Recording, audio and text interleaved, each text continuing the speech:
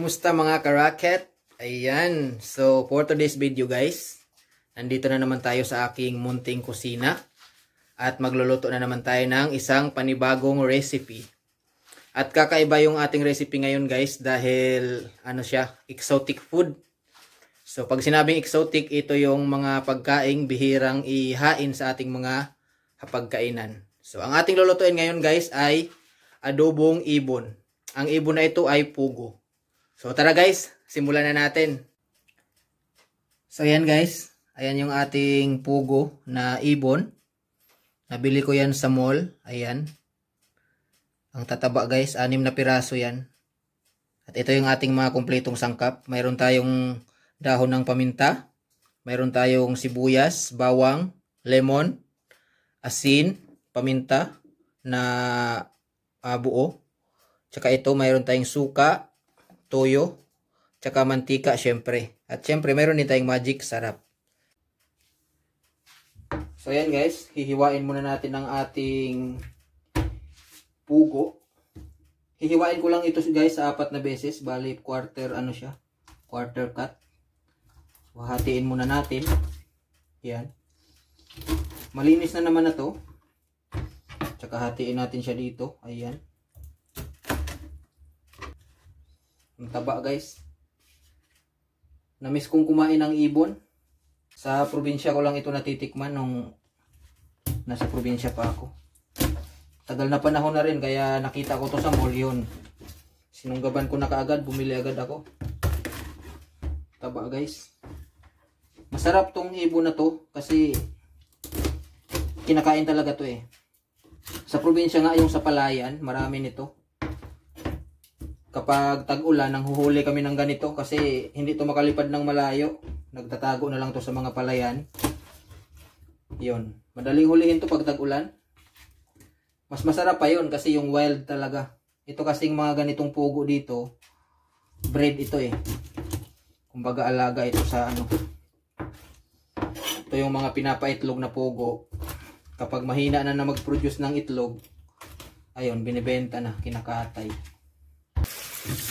Gasan lang nating maigi para talagang ano malinis na malinis yung ating ibon. Tatanggalin lang natin yung kanyang baga. Yan.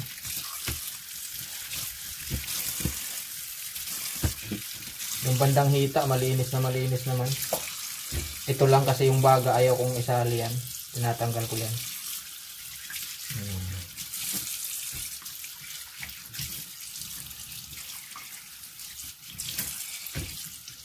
Ayan guys, yung baga niya. Hindi ko yan sinasali.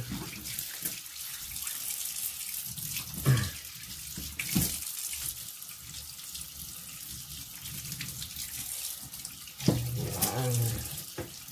Panalo to guys. Sarap to pampulutan. Sa probinsya, maraming paraan para manghuli nito. Pwedeng tiradurin, Pwedeng barilin. Pwede rin yung mga pukot-pukot na yan. so, makakatikim tayo ngayon ng ibon sa UAE guys. Actually, yung ibon dito guys, bawal. Ang laki ng multa kapag nahuli ka na pinapakialaman mo yung mga wild bird rito. Kulong ka pa. Pero ito kasi, binibentang ibon talaga to. So, pwede siyang anuhin pwede siyang uh, kainin. so ayan guys, titimplahan na natin ngayon for marinate. Lalagyan muna natin ng toyo. Yan, tansahan lang guys. Ganyan talaga pag mga ship cook, tansahan lang yung timpla. Yan. Lalagyan rin natin ng kaunting suka guys. Siyempre, adobo to eh. Yan. Tama lang yan. Siyempre, bukod sa suka guys, pipigaan ko rin siya ng lemon. Ayan o. Oh. Walang kalamansi dito guys, kaya lemon na lang. Para sosyal. O, di ba? Bahala na yan mga asim dyan. Yan, lalagyan natin ng bawang at sibuyas. Yan. Hiniwa ko lang yan sa pino guys. Ayan. Lalagyan natin ng kaunting asin. Pak, pak, pak, pak. Yan. At syempre, paminta Ayan, durog na yan guys ha. O yan guys. Tapos, lalamasin ko lang siya guys. Naghugas naman ako ng kamay nung nakaraang araw. Yan. At ako lang din naman ang kakain ito. Yan. Kaya, okay lang. Ayan guys. Haluin lang mabuti. Ayan o. Oh. So, hayaan lang natin siya guys na magmarinate ng mga 30 minutes.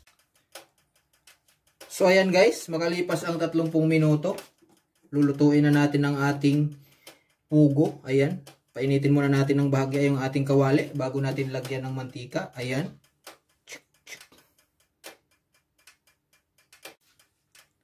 So ayan guys, mainit na yung ating kawali. Lalagyan na natin ngayon siya ng mantika. Ayan. Medyo damihan natin yung mantika guys para masarap yung ating adobo. Ayan. Painitin lang natin ng bahagya ang ating mantika bago natin ilagay ang ating karni ng pugo.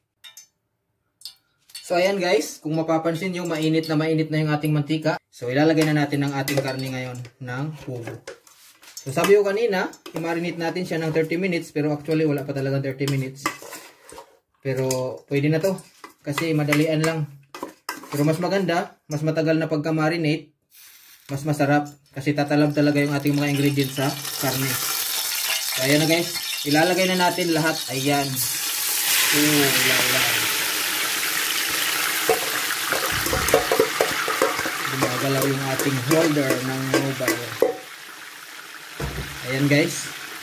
Napakasimple lang yung pagluluto ng adobo guys. Pangkaraniwang ano lang to, pangkaraniwang luto. So, ayan guys. Kumukulo na yung ating adobong pugo. So, hahaluin lang natin siya, no? Ayan. Para pantay yung pagkakaluto. At ang gagawin natin dito guys, hayaan lang natin siyang matuyo sa mantika. Ayan. At pwede pa natin siya ulit timplahan. Baka kulang pa sa timpla. Yan. Timpla ala chamba lang kasi itong ginagawa ko guys. Alam nyo naman, Chef McCoy. Self-proclaimed chef. Ayun. Yan. So, panalo itong ating adobong ano guys. Adobong pugo. So, pasingawin muna natin guys. Ganyan ako pag nag-adobo. Bago ko siya lagyan ng takip, pasisingawin ko muna siya. Yan. So, ayan guys hahaluin muna natin. Bago natin takpan, pwede na itong takpan ngayon.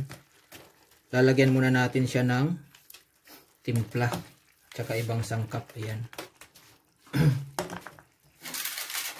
Lalagyan natin siya ng dahon ng laurel guys. Ayan. Siyempre, titimplahan na natin. Ating magic panimpla. Alam nyo na yan, magic sarap. Oh. Alright.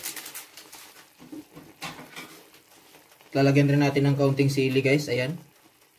Guguntingin ko lang yung ating sili. Yun. Dalawang piraso lang para hindi siya ganun kaanghang. Ayan. Alright. Siyempre maglalagay tayo guys ng kaunting brown sugar. Ayan. Kaunti lang. Ayan. At hahaluin natin ngayon. Alright. Ayan guys. Suwabe itong ating adobong pugo. Dabis ito pulutan. Promise.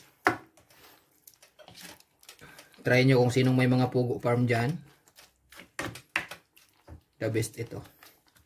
So ngayon guys, tatakpan na natin. Yan. Ito yung takip natin. Kulalam. So yan guys. Check lang natin. Hahaluin lang natin guys paminsan-minsan para pantay ang luto. Ayan. Hahayaan lang natin siyang matuyo yung kanyang sabaw guys. Yung nagmamantika na talaga siya. Yun yung the best sa adobo. So ayan. Medyo kunting tiyaga pa. Bango na. Naamoy ko na yung aroma. Tatakpan muna natin ulit. Yan. So, yan guys. Check na natin. Oh, lalambango. Haluin lang natin guys ang ating adobong pugo. So medyo malapot na yung ating sauce guys. Hindi pa yan. Hindi pa yan dyan nagtatapos. At actually luto na siya. Pero kulang pa. Ayan oh, malapot na siya oh.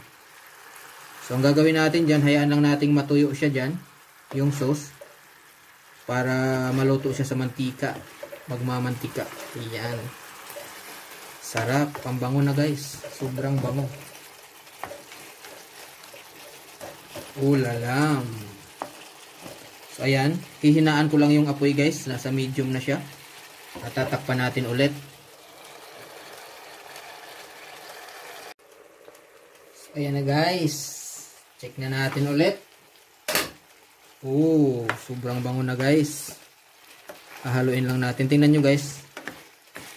Kinain na ng karning pugo ang ating ang ating ano sauce. So, makikita nyo ito, mantika na, nagmamantika na siya. So, yan. Hahayaan lang natin siyang maluto sa mantika.